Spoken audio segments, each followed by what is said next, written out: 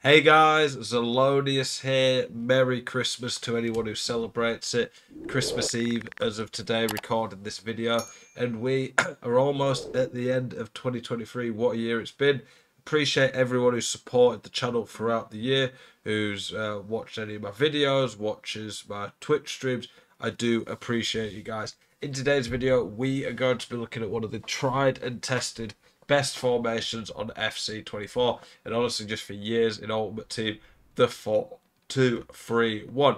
I'm going to, as always, with my tactics video, explain it step by step, break every single part of it down, talk you through the players you want in this formation, exactly how the tactic works, what's good about the tactic, what's bad about it, and there you should have a pretty good idea of how to use it to help you get more wins. If there's any particular videos you would like to see me do, or just any questions or comments you've got in general, please do let me know. I try my best to read every single comment and respond to them.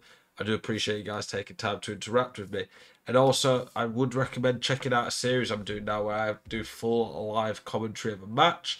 Um, I think you can get a lot out of that. You can learn a lot, get to see a bit more into the mind of someone who's pretty much every week hitting rank one and getting elite division in Ultimate Team. So, this is my team at the moment. Very versatile team with four attackers, but you could put one of them into midfield if you needed. Um, pretty great defense. Could sell Kompany if I wanted to just put Blanc back into uh, fund some other areas. But yeah, I, I really like my team at the moment. I really wanted to try that new CR7 out, but he's cost near three and a half million or something stupid. Um, I don't know what you guys think. My opinion is that the pack weight promos is a disgrace at the moment. Uh, as I would say, it's a disgrace. Um, the cheaper end cards or the mid to decent range cards are really affordable, then the top ones are just impossible to get every promo. But are you sick to death of getting out teamed on FC24? Want that God Squad you've always been dreaming of? Check out IGGM.com today, the best and most reliable place to get coins for your ultimate team. Use the link in the description and code ZEL at checkout for a 5% discount. Check out IGGM.com today. That's beside the point. Let's get into the tactic. So, you might have watched one of my tactics videos before. If you have, you will know, generally speaking, when I do a tactic, I have a defensive cell. It's not defensive, it's just that's what the game plan's called. And then I normally have a more attacking version of it. I don't do this for the 4 2 3 1. Simply put, for the 4 2 3 1, I don't think it's that good at coming back from behind with. It's a great formation to play in front with and to play when you draw and control the game, but I'd rather switch to a more aggressive, more attacking formation if I'm losing. Simply put, if there's a weakness of this formation, it's the lack of two strikers and just all out attacking options. It's decent going forward, and if you're a good patient player, you can create some really, really good attacking patterns in this formation. But if you try to come back into a game, there's definitely better formations, in my opinion. So I would not recommend this as a tactic use or formation use at every stage of the game. Um, I do have lots of tactics that I've done that with. I'd recommend going to check those out. So the actual formation itself, um, four two three one, very solid. The pros of it, very good defensively, very hard to break down, very good at keeping the ball. Um, a lot of people underestimate how important that is, but if you have the ball, you can score, and if your opponent doesn't have the ball, they can't score. Quite simple, but definitely works a lot. So this formation, I would say, is a very good fundamental formation. And by that, I mean, if you are new to the game, particularly, you really need to practice some of the basics, uh, like keeping the ball, passing accuracy, defensive structure, things like that. I think this is a brilliant formation that could really help you learn the game. So if you're newer to the game and you're watching this video, I think this is one of the best formations you can use. And every year it's just a good, solid formation. When I talk about the attacking pads in this formation, having a Lam and Ram who can stretch play, teams out wide, they can offer finesse, Trivela options, a cam to link the play up, two CDMs in front of you back four to uh, keep your defensive shape. It's really good and it's very hard as long as you don't dive in and you just play fairly solid fundamental FIFA for someone to overrun you in this formation. Uh, there's not really a formation that play you could play against this where this formation just can be completely counter. So honestly, one of the most balanced, solid all-round formations in the game.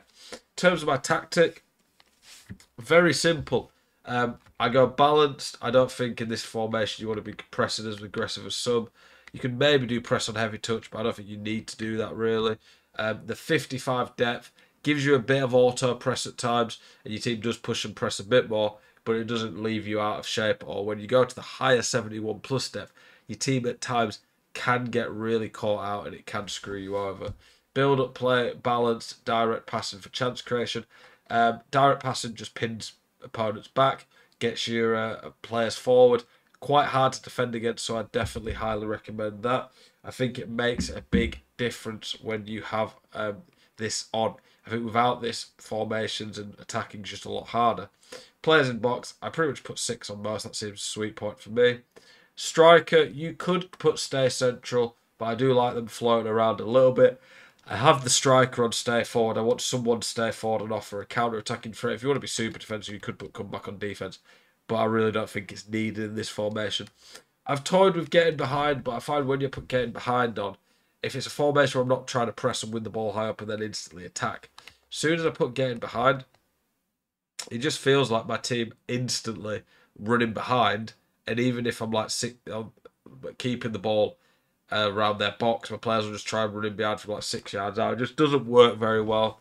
Um, I like it when it's like a tactic where I'm trying to get the ball forward instantly, but doesn't work as well on this year as some previous ones. Default on all the cabs except comeback on defense. The comeback on defense you might think might leave you not as good going forward, and it is true to some extent. However, it is insane defensively um, because it just gets so many people behind the ball makes a huge difference. And honestly, I would highly recommend it. I think it's really, really good on this game to do this and um, makes a big difference, in my opinion. So come back on defense makes you very hard to break down. Um, cut passing lane, stay back while attacking. I find even when players to stay back while attacking at CDM this year, if they have high attacking work rates, they will still get forward. You will not be left without any options going forward.